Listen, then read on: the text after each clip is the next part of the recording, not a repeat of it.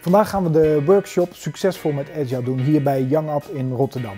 Agile staat voor flexibel, wendbaar, snel in kunnen spelen op uh, veranderingen.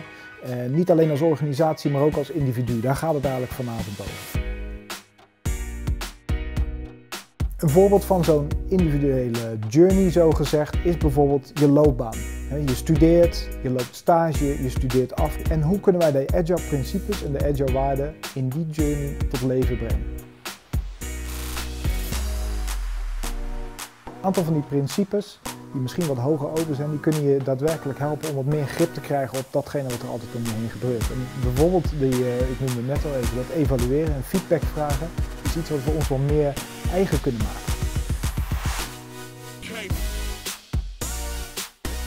Als ik één tip mee mag geven is, uh, pas het vooral toe. Dus de theorie is ongelooflijk eenvoudig, maar de kracht en de moeilijkheid zitten juist in de discipline om die uh, normen en waarden en die agile waarden en agile principes daadwerkelijk toe te passen. Wil je zelf uh, hulp met je loopbaan, bijvoorbeeld door workshops en trainingen zoals wij vanavond hebben gedaan, hou dan vooral de site van Up in de gaten en de social media, want er is heel veel aanbod en dat komt daar regelmatig op.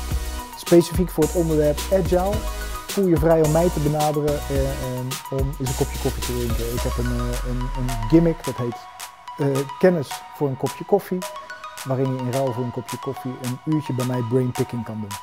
Staat je helemaal vrij, ik hoef er verder niks voor. Uh, mijn naam wordt aan jou. Young Up, ontwikkeling door doen.